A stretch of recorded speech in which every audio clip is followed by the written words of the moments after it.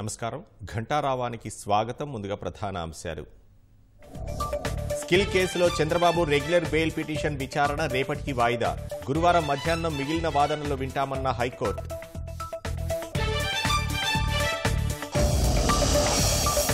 ఐదు వారాల పాటు చంద్రబాబుకు ఆరోగ్య పరీక్షలు తప్పనిసరి. గుండె సంబంధిత సమస్యతో కూడా బాధపడుతున్నారని కోర్టుకు తెలిపిన న్యాయవాదులు. వరికెపూడిసెల ఎత్తిపోతలకు సీఎం జగన్ శంకుస్థాపన. ఎన్నికల స్టంటేనని కొట్టిపారేసిన తెలుగుదేశం.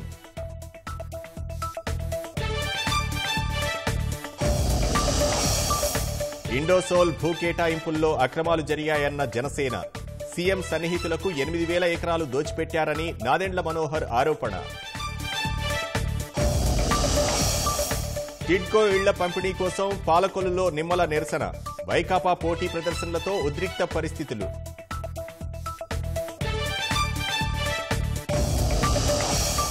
జమ్మూ కశ్మీర్ బస్సు ప్రమాదంలో ముప్పై ఆరుకి చేరిన మృతుల సంఖ్య మరో తొమ్మిది మంది పరిస్థితి విషమం.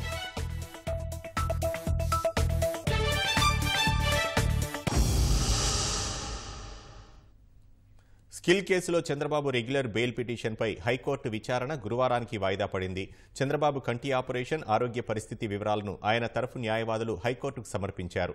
వైద్యుల సూచనల మేరకు నివేదికను మెమో ద్వారా కోర్టుకు అందించారు.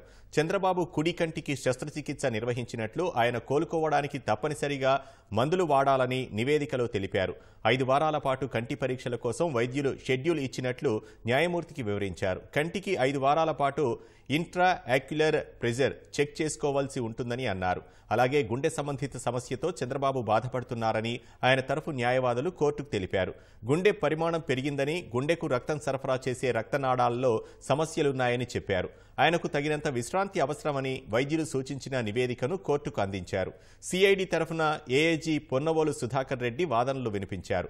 ఇరువురి వాదనలు విన్న న్యాయస్థానం విచారణను గురువారానికి వాయిదా వేసింది. ప్రభుత్వం తరపున అడ్వకేట్ జనరల్ పొన్నవోలు సుధాకర్ రెడ్డి గారు వాదనలు వినిపించడం జరిగింది. ఇదివరకే మనం చెప్పిన వాదనలు అంటే మేము చేసిన వాదనలు అన్నీ కంప్లీట్ అయిపోయినాయి. పోతే ఇంకా ఆయన వాదనలు అయిపోయిన తర్వాత కన్క్లూజన్ అనేది మేము ఇవ్వాల్సి వస్తుంది అనమాట పోతే ఈరోజు టూ ఫిఫ్టీన్ నుంచి అరౌండ్ త్రీ ఫార్టీ ఫైవ్ వరకు వాళ్ళు ఆర్గ్యుమెంట్ చేయడం జరిగింది. అదే మాకు రేపు కూడా టైం కావాలండి మేము రేపు కూడా కంటిన్యూ చేస్తామని చెప్పడం జరిగింది. బట్ మనమైతే త్రీ థర్టీ లోపల కంక్లూడ్ చేయండి ఆ తర్వాత మాకు ఫార్టీ ఫైవ్ మినిట్స్ ఉంటుంది. ఫోర్ ఫిఫ్టీన్ లోపల మేము రిప్లై అంటే కౌన్ కంక్లూడ్ చేసేస్తాము. ఆ తర్వాత జడ్జి గారు నిర్ణయం తీసుకునే అవకాశం ఉంటుందని జడ్జి గారికి విన్నవించడం జరిగింది. దానికి అంగీకరించడం కూడా జరిగింది. రేపు మోస్ట్లీ రేపు ఆర్గ్యుమెంట్స్ అన్నీ కంప్లీట్ అయిపోతాయి. ఈ స్కిల్ డెవలప్మెంట్ రెగ్యులర్ బెయిల్ కేసులో. ఈరోజు అదే రెగ్యులర్ వాదనలే వాళ్ళు ఏమి ఉండవు. జరిగే చెప్పినట్టువే చెప్తూ ఉన్నారు వాళ్ళు. ఏమంటే అక్కడ ఈ షెల్ కంపెనీలని అక్కడికి ఫండ్స్ మిస్యూజ్ చేశారని అవన్నీ. దోస్ ఆడిట్ కూడా ఆడిట్ కూడా వాళ్ళు ఇవ్వడం జరిగింది. అది ఇదివరకే ముప్పై ఆరు మంది ఎవరైతే ఉన్నారో వాళ్ళందరూ బెయిల్అవుట్లో ఉన్నారు. బెయిల్ వచ్చినది. కాబట్టి చంద్రబాబు నాయుడు గారు ముప్పై ఏడో ముద్దాయిగా ఉన్నాడు కాబట్టి చంద్రబాబు నాయుడు గారు కూడా రేపు వాదనలు ముగిస్తే రేపు ఆర్డర్ రిజర్వ్ అయితే ఎల్లుండి బెయిల్ వచ్చే అవకాశం ఉంది. ఆరోగ్య పరిస్థితి అంటే ఇప్పుడు ఇదివరకే బెయిల్లో ఉన్నారు కాబట్టి హెల్త్ కండిషన్లో ఏమేమి ఆపరేషన్ ఎలా మెడికేషన్ ఎలా తీసుకున్నారు ఏం చేస్తున్నారు ఏమనేది ఒక నివేదిక లాంటిది ఇవ్వడం జరిగింది. But the thing that is common thing. ఎన్నికలు సమీపిస్తుండటంతో ప్రజలను మోసం చేసేందుకు పాత మిత్రులంతా మళ్ళీ ఒకటయ్యారని మేనిఫెస్టోలు హామీల పేరిట జిమ్మిక్కులు చేస్తున్నారని ముఖ్యమంత్రి జగన్ విమర్శించారు. గతంలో కలిసి పోటీ చేసినప్పుడు ప్రజలకు ఇచ్చిన హామీలు ఏమయ్యాయని ఆయన ప్రశ్నించారు. మాచర్లలో వరకపూడిసెల ఎత్తిపోతల పథకం ప్రారంభించిన సీఎం జగన్ పల్నాడు జిల్లా అభివృద్ధికి కట్టుబడి ఉన్నామన్నారు. కృష్ణమ్మ చెంతనే ఉన్న పల్నాడు జిల్లాలో గుక్కెడు తాగునీటికి కటకటలాడాల్సిన పరిస్థితులు ఉన్నాయని ప్రజల దాహార్తిని తీర్చేందుకే వరికపూడిసెల ఎత్తిపోతల ప్రాజెక్టుకు శ్రీకారం చుట్టినట్లు సీఎం జగన్ తెలిపారు. గత పాలకులు ఎలాంటి అనుమతులు లేకుండానే ఎన్నికల ముందు హడావుడిగా ఈ ప్రాజెక్టుకు శంకుస్థాపన చేసి చేతులు దులుపుకున్నారని విమర్శించారు. పల్నాడు గడ్డను అభివృద్ధికి అడ్డాగా మారుస్తామని జగన్ హామీ ఇచ్చారు. పక్కనే నాగార్జున సాగర్ ప్రాజెక్టు ఉన్నా కూడా ఈ నియోజకవర్గంలో సాగునీటికి తాగునీటికి దశాబ్దాలుగా కూడా ఎద్దడి మన కళ్ళ ఎదుటే కూడా కనిపిస్తా ఉన్నా కూడా ఏ ఒక్కరూ కూడా గతంలో పట్టించుకున్న పరిస్థితులు లేవు. ఈ పరిస్థితులన్నిటికీ కూడా మారుస్తూ మూడు వందల నలభై కోట్ల రూపాయలతో వరిక పురుషుల ఎత్తిపోతుల ద్వారా పల్నాడుకు కృష్ణమ్మ నీరు అందించడం జరుగుతుంది అని చెప్పి చెప్పడానికి మీ బిడ్డగా గర్వపడతా ఉన్నాను ఈ సందర్భంగా. ఇదే పథకానికి ఎన్నికలకు కేవలం నెల ముందు రెండు వేల పంతొమ్మిది ఫిబ్రవరి మార్చి మాసాల్లో ఎటువంటి అనుమతులు లేకపోయినా కూడా ఈ ప్రాజెక్టుకు సంబంధించిన భూమి ఏమాత్రం కూడా ప్రొక్యూర్ చేయకుండానే ఈ ప్రాజెక్టుకు గతంలో గత పాలకులు వచ్చి మనందరినీ కూడా మోసం చేసేందుకు టెంకాయ కొట్టారు. అన్ని అనుమతులు కూడా తీసుకొచ్చిన తర్వాత ఈ రోజు శంకుస్థాపన కార్యక్రమం చేస్తా ఉన్నాం. ఈ లిఫ్ట్ను నాలుగు పంపులతో నాగార్జున సాగర్కు నలభై కిలోమీటర్ల ఎగున నిర్మిస్తా ఉన్నాం. వరకు పొడిసిన వాగు నుంచి నీటిని రోజుకు రెండు వందల ఎనభై ఒక్క క్యూసెక్కులు చొప్పున మొదటి దశ కింద ఒకటి పాయింట్ ఐదు ఏడు టీఎంసీల నీరును తరలించడం ద్వారా ఇరవై ఐదు వేల ఎకరాలకు సాగునీరు అందుతుంది. ఇరవై వేల మంది జనాభాకు త్రాగునీరు అందించే కార్యక్రమానికి ఈ లిఫ్ట్ ద్వారా మంచి జరుగుతుంది. చంద్రబాబుకు సంక్షేమం అంటేనే పట్టదని ఆయన ఎప్పుడూ వర్తమానం గురించి కాకుండా యాభై ఏళ్ళ ముందు ఆలోచిస్తానంటూ ప్రజలను బురిడీ కొట్టిస్తారని జగన్ ఎద్దేవా చేశారు. మళ్ళీ ఎన్నికలు సమీపిస్తుండటంతో అమలు చేయలేని హామీలతో ప్రజలను మోసం చేసేందుకు వస్తున్నారన్నారు. ఎన్నికల దగ్గరకు వస్తున్నాయి కాబట్టి ఈ పెద్ద మనుషులందరూ కూడా ఒకడే చెప్తే నమ్మడు అని చెప్పి ఈ పెద్ద మనిషికి తోడు ఇంకొక నలుగురిని కలుపుకుంటా ఉన్నాడు. ఆ నలుగురు కూడా కలుపుకొని ఏమంటా ఉన్నారు? ప్రతి ఇంటికి బెంచ్ కార్ ఇస్తాము ప్రతి ఇంటికి కేజీ బంగారం ఇస్తాము. ఇదిగో మేమంతా కలిసికట్టుగా మేనిఫెస్టోలో నువ్వు ఐదు హామీలు చెప్తే నేను దత్తపుత్రుడిని కూడా నీకు కలిశాను కాబట్టి మరో ఆరు హామీలు నేను చెప్తా ఉన్నాను. ఈ పదకొండు హామీలు మేము ఇస్తా ఉన్నాము అని చెప్తా ఉన్నారు. రెండు వేల పద్నాలుగులో కూడా ఇదే దత్తపుత్రుడు ఇదే చంద్రబాబు నాయుడు గారితో కలిసే పోటీ చేశాడు. ఇదే చంద్రబాబు నాయుడు గారితో కలిసే మేనిఫెస్టో రిలీజ్ చేశాడు. ఇదే దత్తపుత్రుడు ఇదే చంద్రబాబు నాయుడు గారితో కలిసి ఆ మేనిఫెస్టోకు నేను పూచి అని చెప్పి చెప్పాడు. మరి రెండు వేల పద్నాలుగులో చెప్పారు ఇద్దరు కలిసి ఇంతటి దారుణంగా ప్రజలను మోసం చేశాడు. గత చరిత్ర. ఐదు హామీలట ఒకరు ఆ ఐదు హామీలకి ఇంకొకరు ఇంకొక ఆరు హామీలట. ఇది కూడా రిహార్సల్ అంట. మేనిఫెస్టో అనేది తర్వాత ఇంకా ఎక్కువ హామీలతో ఇస్తారట. నిజంగా వీళ్ళు మనుషులేనా అని అడుగుతా ఉన్నాను మీ అందరి తరపున. పల్నాడు జిల్లా మాచర్లలో ముఖ్యమంత్రి బహిరంగ సభకు ప్రజల నుంచి స్పందన కరువైంది. సీఎం జగన్ ప్రసంగం ప్రారంభించకముందే జనం తిరుగుముఖం పట్టారు. వైకాపా నాయకులు పెద్ద ఎత్తున మహిళలను బస్సుల్లో తరలించినా సభావేదిక నుంచి ప్రారంభంలోనే వెళ్ళిపోయారు భోజనాలన్నీ బస్సు పాయింట్ వద్ద ఏర్పాటు చేయడంతో సభకు వచ్చిన జనమంతా సీఎం ప్రసంగం వినకుండానే సభ నుంచి తరలి వెళ్ళారు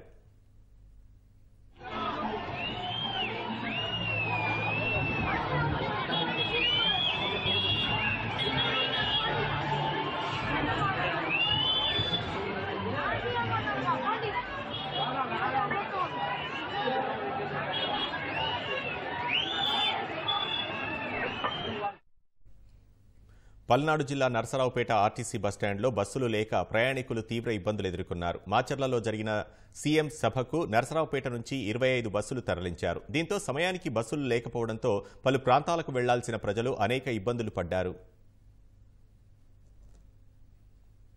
వరికపూడిశెల ఎత్తిపోతల పేరుతో పల్నాడు ప్రజలను సీఎం జగన్ మోసగించారని తెదేపా నేత దేవినేని ఉమా ఆరోపించారు. ఆరు నెలల్లో ఎన్నికలున్నాయని శంకుస్థాపన పేరుతో హడావిడి చేస్తున్నారని విమర్శించారు.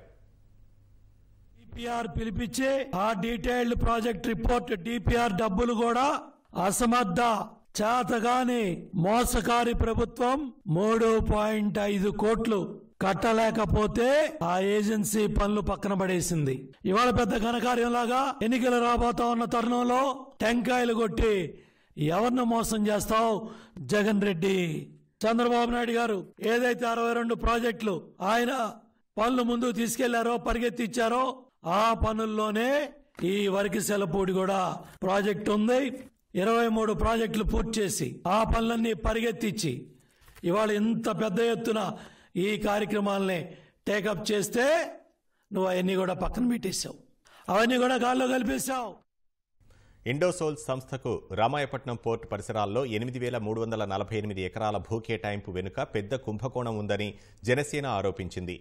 భారీ పెట్టుబడులంటూ ఈ సంస్థతో ప్రభుత్వం చేసుకున్న ఒప్పందం భూదోపిడీలో భాగమని జనసేన నేత నాదెండ్ల మనోహర్ ఆరోపించారు. ఈ మొత్తం వ్యవహారంపై విచారణ జరిపించాలని డిమాండ్ చేశారు. అనే కంపెనీకి ఈ రాష్ట్ర ప్రభుత్వం ఐదు వేల నూట నలభై ఎనిమిది ఎకరాలు భూమి కేటాయించారు. ఇది ఎక్కడంటే రామాయంపట్నం పోర్టు దగ్గర పది సంవత్సరాల కోసం లీజ్ అగ్రిమెంట్ చేశారు. అయితే ఈ కొత్త విధానం వలన ఈ న్యూ ఇండస్ట్రియల్ ల్యాండ్ పాలసీ వలన సడన్గా ఈ ఇండోసాల్ కంపెనీ లెస్సీ కాదు ఓనర్ అయిపోయింది. ఒకే రోజులో మార్చేశారు వాళ్ళు. అవుట్ రైట్ పర్చేస్ చేసుకోమన్నారు ఈ కంపెనీని భూముల్ని. ఇంతటితో ఆగలేదు. ఇంకొక మూడు వేల రెండు వందల ఎకరాలు భూసేకరణ కోసం రాష్ట్ర ప్రభుత్వం ఫెసిలిటేటర్గా మారిపోయింది. ఎనిమిది వేల మూడు వందల నలభై ఎనిమిది ఎకరాలు మరి స్థానికంగా ఉన్న ఆ పార్టీ నాయకులు వచ్చి బెదిరిస్తారు. డీకే పట్టా భూములు ఉన్నాయి అసైన్ భూములు ఉన్నాయి ఇటువంటి భూముల్ని ఈ పట్టా భూముల్ని వీళ్ళు బెదిరించి ఏ విధంగా ఏ రేటుకి తీసుకుంటారో అనే ఆందోళన ప్రతి ఒక్కరిలో కలుగుతోంది. మరి ఎవరండి ఈ ఇండోసాల్? ఎనిమిది వేల మూడు వందల నలభై ఎనిమిది ఎకరాలు ఇచ్చేస్తున్నారు. ఎవరున్నారు దీని వెనక? ఈ షిర్డీ సాయి ఎలక్ట్రికల్స్ ఎక్కడి నుంచి వచ్చింది? ఇది రాష్ట్ర ప్రజలకి చాలా మందికి తెలుసు దీని వెనక ఎవరున్నారు ఏ విధంగా జరుగుతుందని. వీళ్ళకి ఇచ్చే ఈ ఎనిమిది వేల మూడు వందల నలభై ఎనిమిది ఎకరాల్లో ఏపీ ట్రాన్స్కో సొంత ఖర్చులతోటి ఒక సబ్స్టేషన్ ఏర్పాటు చేయమన్నారు. డెవలప్మెంట్ ఛార్జెస్ యూజర్ ఛార్జెస్ ఏవి కూడా వీళ్ళకి వర్తించదు. సోమశీల కనిగిరి సంగం ఈ మూడు బ్యారేజీల నుంచి రిజర్వాయర్ నుంచి నూట పదిహేను మిలియన్ లీటర్లు పర్ డే చుట్టుపక్కల చెరువులు ఉంటే ఆ చెరువులు కూడా ఈ కంపెనీకి ఇచ్చేసేయమని చెప్పారు. చుట్టూ ఇరవై కిలోమీటర్ రేడియస్ ఎవ్వరు కూడా పైప్ లైన్ వేయకూడదంట అంటే ఈ ఎనిమిది వేల మూడు వందల నలభై ఎకరాల్లో క్వాడ్స్ మైనింగ్ చేయడానికి ఈ కంపెనీకి ముప్పై సంవత్సరాలకి లీజ్. రూల్స్ అమెండ్ చేసి మరి ఈ కంపెనీకి రిలాక్సేషన్ పర్మిట్ చేయమని ఈ ఎస్ఐబిబి చేసింది. ఇప్పుడు ఫిజికల్ ఇన్సెంటివ్స్ వద్దాం. వీళ్ళకి కంప్లీట్గా no stamp duty no registration fee no transfer of land fee no municipality fee no property tax free no panchayat fee agriculture to industrial land conversion ఆ ఛార్జీలు కూడా మాఫీ. సీన్ రైజే లేదు వీళ్ళకి. వీళ్ళ దగ్గర ఎటువంటి సెక్యూరిటీ డిపాజిట్ తీసుకోకూడదు. ఎటువంటి స్టాంప్ డ్యూటీ తీసుకోకూడదు. ఇది మన కౌన్సిల్ ఆఫ్ మినిస్టర్స్ మన క్యాబినెట్. మీరు రాష్ట్రానికి మేలు జరగాలని పరిపాలిస్తున్నారా? లేకపోతే రాష్ట్ర ప్రజల్ని రాష్ట్రాన్ని డకౌట్ చేయాలని చూస్తున్నారా? దేనికోసం? ఎవరున్నారు ఈ కంపెనీలో భాగస్వాములు? ఎందుకు ఈ కంపెనీ పైన మీకు అంత ప్రేమ? ఒక్కరిద్దరికో లబ్ధి కోసం. ఇది లాస్ట్ బ్యాట్స్మెన్ అంటారు చూసారా? చివర్లో దిగిపోయే ముందు హడావిడిగా ఏం చేయాలని చూసి ఎక్కడ లేని విధంగా ఇవన్నీ పెట్టేసి తప్పించుకుంటాం అనుకుంటే దీని వెనక చాలా మంది ఇన్వాల్వ్ అయి ఉన్నారు. డెఫినెట్గా వీళ్ళపైన యాక్షన్ తీసుకోవాలి. జనసేన పార్టీ నుంచి మేము డిమాండ్ చేస్తున్నాం. ఈ రాష్ట్ర ప్రభుత్వం ఈ కంపెనీ ఎవరిది ఎవరు నిర్వహిస్తున్నారు దీని వెనక ఎవరున్నారు ఎందుకు ఇన్ ఇన్ ఈ స్థాయిలో మీరు లబ్ధి కలిగించారు మీలో నిజాయితీ ఉంటే శ్వేతపత్రం మీరు విడుదల చేయండి. సీఎం జగన్కు కళ్ళ ముందు తన దారుణ ఓటమి కనిపిస్తోందని తెలుగుదేశం జాతీయ ప్రధాన కార్యదర్శి లోకేష్ దుయ్యబట్టారు. పులివెందులలో జగన్ పునాదులు కదులుతున్నాయని ఈ ఆందోళనలతోనే అక్రమ కేసులతో తెదేపా నేతలను అరెస్టు చేస్తున్నారని మండిపడ్డారు. ప్రవీణ్ కుమార్ రెడ్డి బీటెక్ రవిల అరెస్టుతో ప్రతిపక్షం అంటే జగన్ ఎంతగా భయపడుతున్నాడో అర్థమవుతోందన్నారు. వైఎస్సార్ జిల్లాలో పులివెందులలో తీవ్ర వర్షాభావంతో రైతులు బాధలు పడుతుంటే వారి సమస్యలపై దృష్టి పెట్టని సీఎం ప్రతిపక్ష నేతలపై అక్రమ కేసులే ప్రాధాన్యమన్నట్లు వ్యవహరిస్తున్నారని ఆక్షేపించారు. సైకో చర్యలతో జగన్ తన పార్టీకి రాజకీయ సమాధి కడుతున్నారన్నారు. జగన్ పెట్టే ప్రతి కేసు ప్రజల్లో ప్రభుత్వంపై వ్యతిరేకతను పెంచుతోందని విమర్శించారు. ప్రజల పక్షాన తమ పోరాటాన్ని కొనసాగిస్తామని స్పష్టం చేశారు. తెలుగుదేశం వైకాపా పోటాపోటీ కార్యక్రమాలతో పాలకొల్లులో ఉద్రిక్తత నెలకొంది. టిడ్కో ఇళ్ళను లబ్ధిదారులకు పంపిణీ చేయాలంటూ ఎమ్మెల్యే నిమ్మల రామానాయుడు ఆందోళన చేపట్టగా ఎప్పుడో ఇచ్చేశామంటూ అధికార పార్టీ పోటీ కార్యక్రమం తలపెట్టింది. నిరసనకు అనుమతి లేదంటూ రామానాయుడిని అరెస్టు చేసిన పోలీసులు వైకాపా కార్యక్రమాన్ని అడ్డుకున్నారు. పాలకొల్లు చూడు పేరిట నిరసన కార్యక్రమానికి పిలుపునిచ్చిన తెలుగుదేశం ఎమ్మెల్యే నిమ్మల రామానాయుడిని పోలీసులు గృహ నిర్బంధం చేశారు. నిరసనకు అనుమతి లేదన్న పోలీసులు ఇంట్లో నుంచి రామానాయుడు బయటికి రాకుండా భారీగా బలగాలను మోహరించారు. విషయం తెలిసి అక్కడికి చేరుకున్న తెలుగుదేశం కార్యకర్తలు ఎమ్మెల్యే గృహ నిర్బంధంపై తీవ్రంగా మండిపడ్డారు. తమ నాయకుడిని బయటికి పంపాలంటూ పట్టుబడుతూ ఇంటివైపు వెళ్ళేందుకు ప్రయత్నించగా పోలీసులు అడ్డుకున్నారు. ఈ క్రమంలో పోలీసులు తెలుగుదేశం కార్యకర్తల మధ్య తీవ్ర తోపులాట జరిగింది.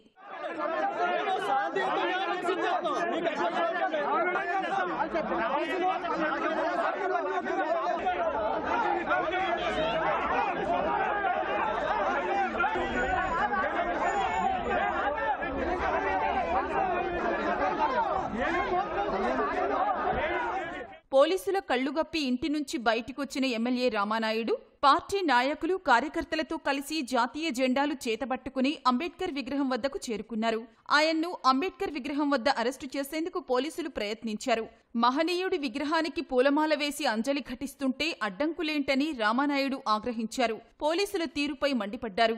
ఈ క్రమంలో తోపులాట జరగడంతో రామానాయుడు కింద పడిపోయారు. ఆ తర్వాత ఆయన్ను అరెస్టు చేసి స్టేషన్కు తరలించారు.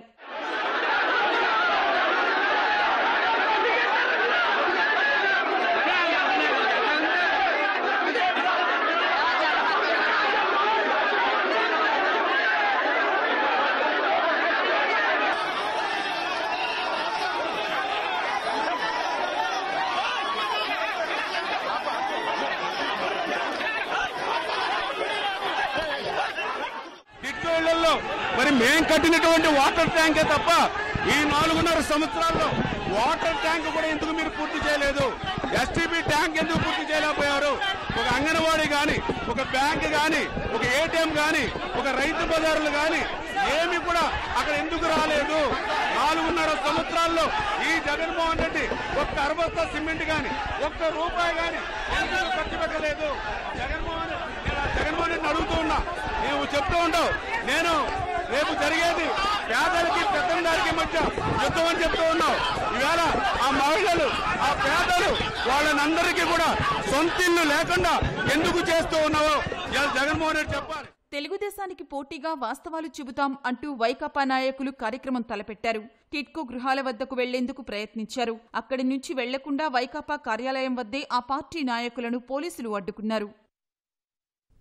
ఓటమి భయంతోనే బీటెక్ రవిని జగన్ అరెస్ట్ చేయించారని తెలుగుదేశం మండిపడింది. వచ్చే ఎన్నికల్లో వైకాపాకు ఘోర పరాభవం తప్పదని తెలిసే తప్పుడు కేసులతో భయపెట్టాలనుకుంటున్నారని బోండా ఉమా ధ్వజమెత్తారు. ఇలాంటి అక్రమ కేసులకు భయపడే ప్రసక్తే లేదని తేల్చి చెప్పారు. తెలుగుదేశం నాయకులు బీటెక్ రవి ప్రవీణ్ కుమార్ రెడ్డిల అరెస్టు ప్రభుత్వం చేస్తున్న అప్రజాస్వామిక చర్య అని పీసీసీ మీడియా చైర్మన్ తులసిరెడ్డి ఆగ్రహం వ్యక్తం చేశారు. కడప ఎస్పీని అడుగుతా ఉన్నాం. ఏ నీ దగ్గరికి పది రోజుల క్రితం రాలేదా బీటెక్ రవి? అప్పుడు కనబడలేదా బీటెక్ రవి మీకు? ఎన్నిసార్లు కలిశాడు ఈ పది నెలల్లో మిమ్మల్ని? పులివెందుల డిఎస్పీని కానీ అక్కడ ఉన్నటువంటి అడిషనల్ ఎస్పీని కానీ ఎస్పీని కానీ ఎన్నిసార్లు సమస్యల మీద మీ దగ్గరికి బీటెక్ రవి వచ్చాడు. ఆయన కారులో కడపెళ్తా ఉంటే ఆయన వెంటాడి ఏం జరుగుతుందో తెలీదు. ఎందుకు అరెస్ట్ చేస్తున్నారో తెలియదు పది నెలల కింద కేసు ఏంటి? ఇప్పుడు అరెస్ట్ చేయటం ఏంటి? ఎవరైతే చట్టాన్ని అతిక్రమించి తాడేపల్లి ఆదేశాలు తాడేపల్లి రాజకీయ కక్ష సాధింపులకి మీరు పావులుగా మారి మీరు పనిచేస్తా ఉన్నారో మిమ్మల్ని ఎవరిని కూడా విడిచిపెట్టం. దయచేసి.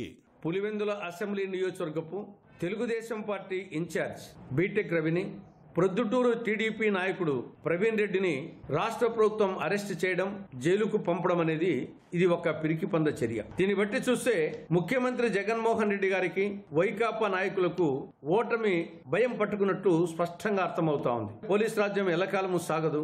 మహామహా నియంతలే కాలగర్భంలో కలిసిపోయారు. కాబట్టి దాన్ని దృష్టిలో పెట్టుకుని ఇటువంటి పిరికి పొంద చర్యలు ఇటువంటి కక్ష రాజకీయాలు చేయొద్దు అని చెప్పేసి వైకాపా ప్రభుత్వానికి ముఖ్యమంత్రి జగన్మోహన్ రెడ్డికి కాంగ్రెస్ పార్టీ సూచిస్తోంది. సమస్యలు పరిష్కరించాలని నాలుగేళ్ళుగా ఆందోళనలు చేస్తూనే ఉన్నా ప్రభుత్వం పట్టించుకోవడం లేదని ఉపాధ్యాయులు ఆగ్రహం వ్యక్తం చేశారు. న్యాయమైన డిమాండ్లను వెంటనే నెరవేర్చాలని విజయవాడ ధర్నా చౌక్ వద్ద ఏపీటీఎఫ్ ఆధ్వర్యంలో ఉపాధ్యాయులు ఆందోళన చేశారు. ప్రభుత్వం ఇలాగే వ్యవహరిస్తే వచ్చే ఎన్నికల్లో బుద్ధి చెబుతామని హెచ్చరించారు. ముఖ్యమంత్రి గారు తన అధికారంలోకి వచ్చిన వారం రోజుల్లోనే సిపిఎస్ రద్దు చేస్తామని చెప్పారు. మరి రోజు దానికి ప్రత్యామ్నాయంగా దానికంటే మరింత దుర్మార్గమైనటువంటి ఒక జీపీఎస్ అనేటటువంటి కొత్త విధానాన్ని తీసుకొచ్చారు. ఓపీఎస్ని పునరుద్ధరించాలని చెప్పేసి మేము ప్రధానంగా డిమాండ్ చేస్తున్నాం. అదేవిధంగా వన్ వన్ సెవెన్ జీవోని వెనక్కి తీసుకోవాలని అనేక పాఠశాలను విలీనం చేపట్టడం జరిగింది. ఈ విలీన ప్రక్రియలో భాగంగా సుమారు నాలుగున్నర లక్షల మంది విద్యార్థులు ప్రైవేట్ పాఠశాల బాట పట్టడం జరిగింది. ఈ ప్రభుత్వం నూట నలభై తొమ్మిది నెలల డిఏ బకాయిలు ఇంతవరకు చెల్లించలేదు. మేము మేము రాగానే టీచర్ల కొరత అనేది ఉండదన్న అన్న ప్రభుత్వం ఇంతవరకు డిఎస్సి పూసే లేదు. అలాగే ఫస్ట్ తారీఖు ఒకటో తారీఖు జీతాలు రావాల్సిన ఇది మరి ఈ ప్రభుత్వం ఇంతవరకు ఇరవయో తారీఖు అయినప్పటికీ కూడా జీతాలు అనేది ఇవ్వబడడం ఆశాస్పదంగా ఉన్నది. గత నాలుగు సంవత్సరాల నుండి రాష్ట్ర ప్రభుత్వం ఏర్పాటు నుంచి కూడా మనకు ఉపాధ్యాయ సమస్యలు అనేవి ఇప్పుడు తీరలేదు. ఇంకా రాను రాను జట్లమవుతున్నాయి కానీ సమస్యలు అనేవి ఈ కొలిక్కి రావటం లేదు. మనం చూసినట్లయితే ఈ పాఠశాల విలీనం కానివ్వండి వన్ ఫార్టీ వన్ జీవో అటువంటి జీవోస్ కానివ్వండి పాఠశాల విలీనం జీవో కానివ్వండి తర్వాత సిపిఎస్ అనేది జీపీఎస్ మార్చడం విషయంలో కానివ్వండి తర్వాత ఈ పిఎఫ్ పిఎఫ్ అమౌంట్స్ కానీ ఏపీజీఎల్ అమౌంట్స్ కానీ పూర్తి స్థాయి క్లెయిమ్ కాకపోవడం కానివ్వండి ఇక అదేవిధంగా ఇటువంటి సమస్యలు అనేవి చాలా ఉన్నాయి. ఈ సమస్యలను కొలికి రాకపోవడం వల్లనే మనం ఈరోజు ఈ కార్యక్రమాన్ని విజయవాడలో ఏర్పాటు చేయడం జరిగింది సార్. జమ్మూ కాశ్మీర్లో ఘోర రోడ్డు ప్రమాదం సంభవించింది. ఈ విషాదంలో ముప్పై ఆరు మంది ప్రాణాలు కోల్పోయారు. వేగంగా వెళుతున్న బస్సు అదుపు తప్పి మూడు వందల అడుగుల లోయలో పడిపోయింది. ఈ ప్రమాదంలో బస్సు నుజ్జునుజ్జవ్వగా బస్సులోని యాభై ఐదు మందికి పైగా ప్రయాణికుల్లో ముప్పై ఆరు మంది మరణించారు. మరికొందరి పరిస్థితి విషమంగా ఉంది. జమ్మూ కశ్మీర్లో సంభవించిన ఘోర రోడ్డు ప్రమాదంలో ముప్పై ఆరు మంది ప్రయాణికులు దుర్మరణం చెందారు. మరో పంతొమ్మిది మంది తీవ్రంగా గాయపడ్డారు. వేగంగా వెళుతున్న బస్సు త్రింగాల్ అస్సార్ ప్రాంతానికి చేరుకోగానే అదుపు తప్పి దాదాపు మూడు వందల అడుగుల లోయలో పడిపోయింది. బస్సులో యాభై ఐదు మందికి పైగా ప్రయాణికులు ఉన్నట్లు ప్రాథమికంగా నిర్ధారించారు. కిష్త్వాడ్ నుంచి జమ్మూ వెళ్తుండగా ఈ ప్రమాదం సంభవించింది. జమ్మూలోని డోడా జిల్లాలో బటోత్ కిష్ట్వాడ్ జాతీయ రహదారిపై ఈ ప్రమాదం జరిగింది. బస్సు ప్రమాదం గురించి తెలిసిన వెంటనే అధికారులు ప్రమాద స్థలికి చేరుకుని సహాయ చర్యలు చేపట్టారు. క్షతగాత్రుల పరిస్థితి విషమంగా ఉండడంతో మృతుల సంఖ్య మరింత పెరిగే అవకాశం ఉందని వైద్యులు తెలిపారు. విషమంగా ఉన్న క్షతగాత్రులను వేరే ఆసుపత్రులకు తరలించేందుకు హెలికాప్టర్ సేవలను సిద్ధం చేసినట్లు కేంద్ర మంత్రి జితేంద్ర సింగ్ వెల్లడించారు. గాయపడిన తొమ్మిది మంది ప్రయాణికుల పరిస్థితి విషమంగా ఉందని వివరించారు. ఉన్నతాధికారులతో సహాయ చర్యలను పర్యవేక్షిస్తున్నట్లు తెలిపారు.